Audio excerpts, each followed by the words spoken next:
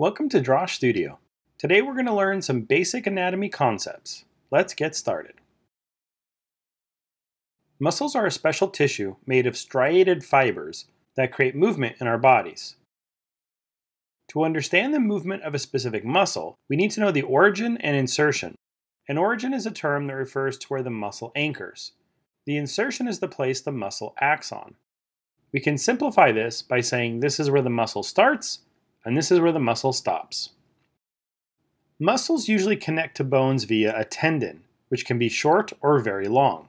The muscle fibers will contract to create movement, but the tendons don't contract like the muscle fibers, so they will act as strong cords that pull on the insertion points of the bone.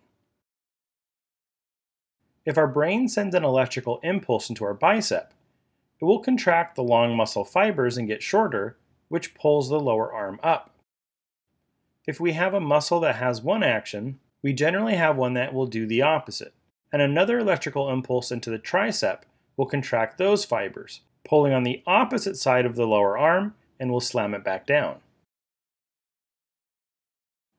Watch here and make note of how the calf muscle shortens as it contracts. This is essentially a mechanical movement where a muscle pulls on a bone at a joint or pivot point. In general, a muscle will move the bone below. Here the calf group of the muscle sits on the lower leg, but it pulls on the heel and moves the foot. What we learn for artistic anatomy is a very simplified version that focuses on the way muscles affect the surface. For example, in an artistic anatomy textbook, you will usually see the gluteus medius, gluteus maximus, tensor fasciae lata, and iliotibial band represented like this. But if we looked at a medical anatomy textbook, it would look more like this, with the iliotibial band having a much more complex set of attachments and making the form appear more confusing. The artistic anatomy version is also correct, but describes the forms more clearly. Most anatomy terms are named in Latin to act as a sort of common language, but there are also some Greek and other terms mixed in. It's important to understand the meaning of these terms because the landmarks and muscles are often named for their location, function, or shape. For example, the extensor group on the forearm has a muscle called the extensor carpi ulnaris, meaning the extensor muscle that inserts into the carpal mass on the side of the ulna. There's a contrasting one called the extensor carpi radialis brevis that inserts into the carpal mass on the side of the radius. It has the name brevis because it is the shorter of two muscles on the thumb side.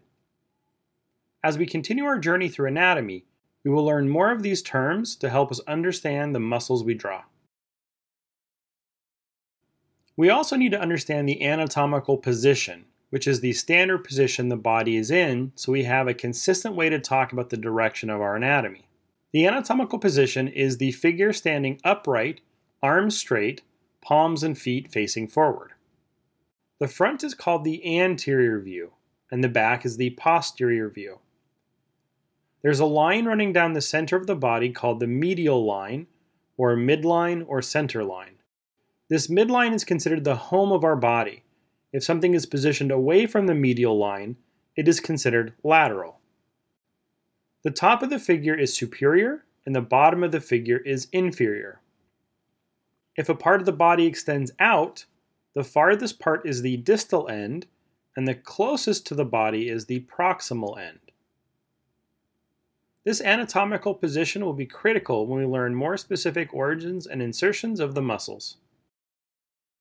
Anatomy can be a challenge to learn because it's very technical, but it is finite, which means eventually you will memorize it and it will be part of your knowledge. If you're just starting out, learn it in small stages. You can get more complex and specific as you go. Thank you for watching. Don't forget to go to drawsh.com for more information on these topics and many more. If you want to see more videos like this, like, share, and subscribe, and I'll see you for the next one.